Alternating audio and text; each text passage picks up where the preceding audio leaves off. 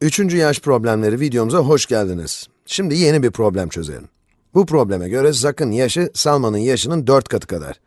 Ne tesadüf Salman problemlerde ne çok karşımıza çıkıyor. Yani Zak'ın yaşı Salman'ın yaşının 4 katı. Aynı zamanda Zak, Salman'dan 3 yaş daha büyük. Zak kaç yaşında? Aslında bu problem gayet açık. Bu soruda sadece şimdiki zamanla ilgileniyor. Bakalım soruyu çözebilecek miyiz? Zak'ın kaç yaşında olduğunu bulmaya çalışıyoruz. Zak, Z olsun. Zak, Salman'dan 4 kat daha yaşlıdır. Eğer Zak, Salman'dan 4 kat daha yaşlıysa, bu demektir ki, Sal eşittir Zak bölü 4.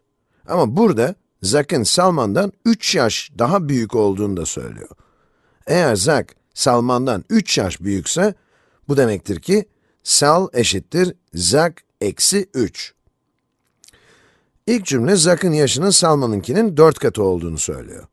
Bu da eğer Zak'ın yaşını 4'e bölersek Sal'ın yaşını bulacağımız anlamına geliyor. İkinci cümlede ise Zak'ın yaşının Salman'ınkinden 3 fazla olduğu söyleniliyor.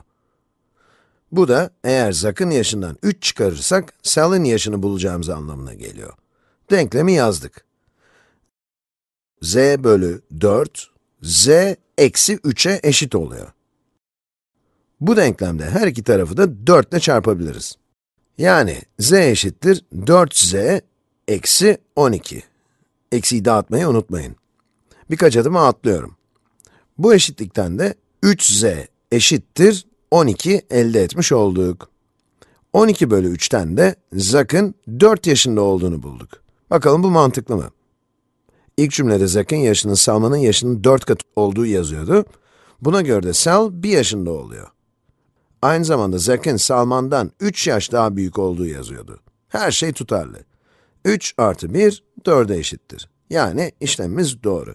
Zak 4 yaşındaymış. Umarım yardımcı olmuştur. Şimdiye kadar her türlü yaş problemini gördünüz. Eğer hala kafanız karışıksa, önceki videoları tekrar izleyebilirsiniz ve soru yazıldıktan sonra videoyu durdurup kendiniz çözmeyi de deneyebilirsiniz. Unutmayın, bir süre alıştırma yaptık ve artık kendiniz de örnek soru yapabilirsiniz. İyi eğlenceler.